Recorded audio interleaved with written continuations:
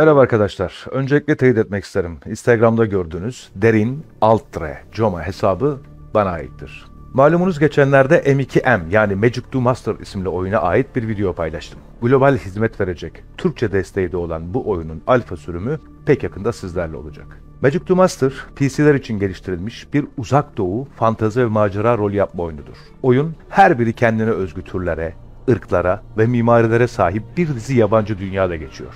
Bazı oyuncular bu oyun için Metin 3 diyorlar. Öyle midir, değil midir yakında hep beraber göreceğiz. Oyunun yapımcı şirketin adı Laniatus'tur.